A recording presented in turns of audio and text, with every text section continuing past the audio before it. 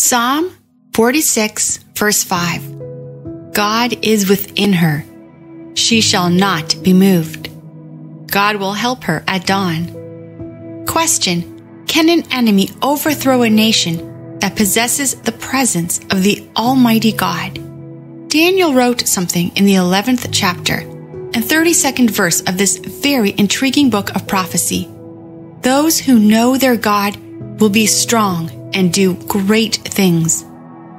Unfortunately, it is pretty evident that God is known by only very few in this present world. God is not present in the lives of many, and as a result, suffering is so much on earth. The majority of nations and people of this world need our scripture text's first phrase to become their status quo.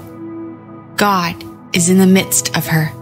The reality of turmoil and unrest is a direct consequence of a lack of the presence of God, or more precisely, a lack of the knowledge of God. God is with those who recognize Him and endeavor to relate with Him. God's help is for those who choose Him to dwell in their midst. There is no question that we all require early intervention for every form of difficulty we encounter.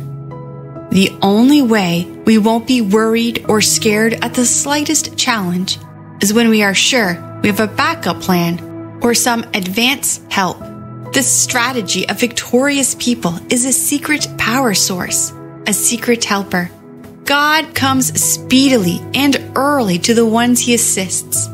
He doesn't waste time to attend to the needs of those who have him in their midst. There's practically no challenge for anyone who possesses the presence of God.